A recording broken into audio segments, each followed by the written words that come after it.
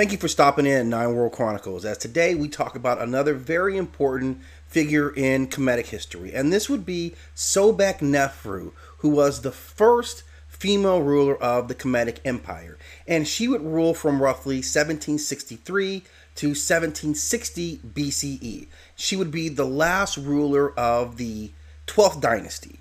Now, her father, who was Amenemhet III, lived and ruled for an exceptionally long time. So by the time her half brother uh, inherited the throne, he himself was already much older and died very shortly after taking the throne.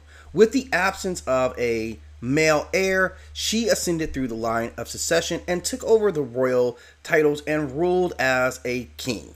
She was the full pharaoh, and she is shown in full uh, King's Royal Regalia with all the traditional poses, although she never actually depicted herself as a male in the way that in the way that uh, Queen Hatshepsut would do in the 18th dynasty. But she left a significant mark, ruling over a prosperous period of time, although it would be at the end of this dynasty.